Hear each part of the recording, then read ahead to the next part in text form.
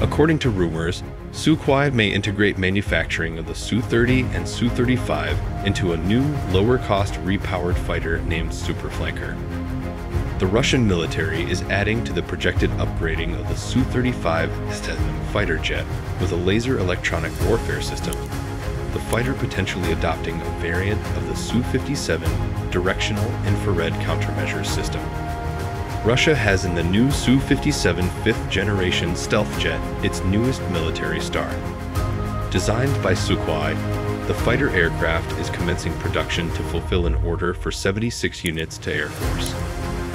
Yet claims by government officials have hinted that the country should spend in updating older, cheaper aircraft as a way to complement the offer of Felon, NATO's codename for the Su-57.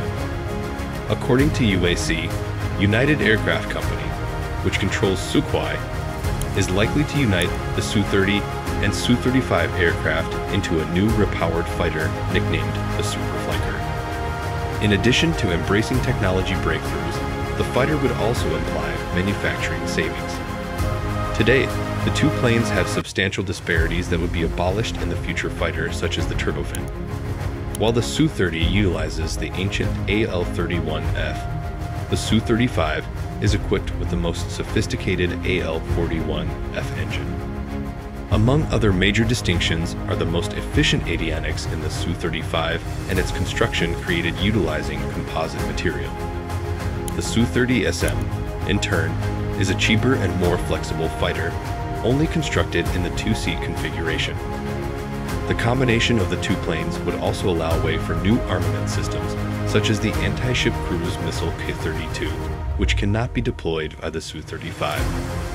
Russia is already aiming towards making the Su-30 more like the Su-35. An AL-41F version of the multi-purpose fighter is likely to be developed shortly for deployment in the western region of the nation, said the TASS agency last year. A further step for Sukhoi might be the launch of an active radar developed from the Su-57 as well as a construction with an even greater usage of composite materials.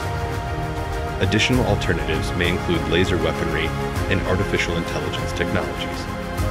The potential Su-40 or Su-35M may have a similar duty to the F-15EX, the veteran Boeing fighter that was once again bought by the U.S. Air Force. With a decent technological package and a more cheap price, the Superflanker can not only be an attractive option for the Russian Air Force, but also an export fighter with enormous potential, despite Sukhoi having started exporting the Su-57 to other nations.